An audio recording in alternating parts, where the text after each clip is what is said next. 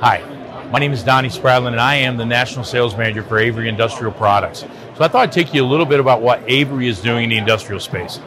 First, you might have seen a couple videos about our Surface Safe product that you can use on glass, mirrors, metal, painted concrete walls, painted drywalls, anything you can use our safety signage, you can make your own on demand without having to purchase an aluminum or a plexiglass sign to do it. Secondly, our GHS labels. So we have our chemical secondary containment labels that are, you can see that it has all of the six elements that's required by OSHA for a GHS label. We also have our safety data sheet binders. Then I'll take you quickly through some of the products that we have. So we have our Marks a Lot permanent markers. We have our hazardous waste labels that you can use. We have multiple different direct thermal labels. We have thermal transfer labels.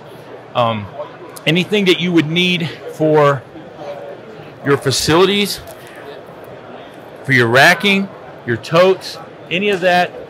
So think about Avery when you're thinking about safety, when you're thinking about labels for the industrial space.